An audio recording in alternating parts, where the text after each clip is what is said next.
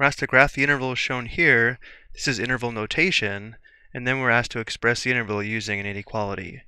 Notice how we have a square bracket, negative 2, comma, infinity, close parenthesis. The bracket to the left of the negative 2 indicates the endpoint of negative 2 is included in the interval, then the interval approaches positive infinity, which means this is the interval for all real numbers greater than or equal to negative 2. So to graph this interval, we make a closed circle or closed point on negative 2, again because the bracket indicates the endpoint is included.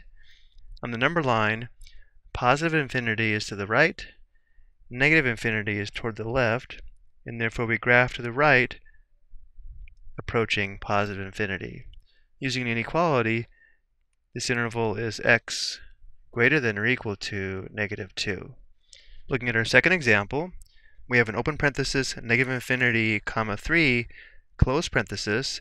The parenthesis next, the parenthesis to the right of 3 indicates the endpoint of positive 3 is not included in the interval, and then the interval approaches negative infinity. So this interval would be all real numbers less than positive 3. To graph the interval, we make an open circle or open point on positive 3. And again, positive infinity would be to the right, negative infinity to the left.